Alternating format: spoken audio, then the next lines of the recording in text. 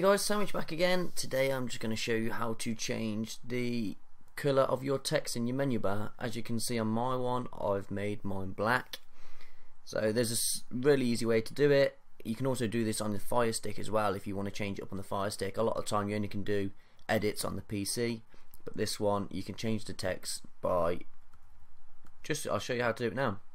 You want to go across to System, you want to go down to Skin Settings, you want to set up the main menu.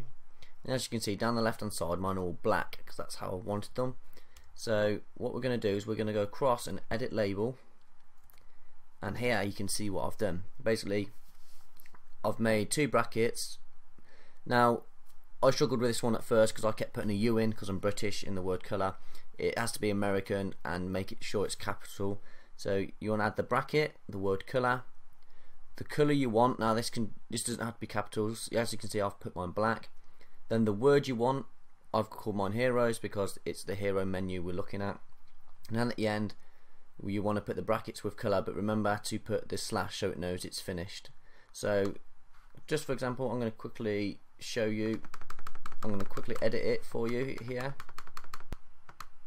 So all I'm going to do is I'm going to remove the word black and let's just try red. So red.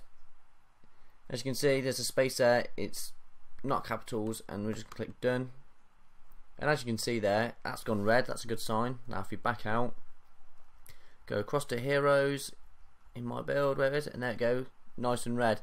Now I know this works for most primary colours you can do this with green black blue red as you can see but yeah there's just one way to do it and all you got to do is remember this simple code here.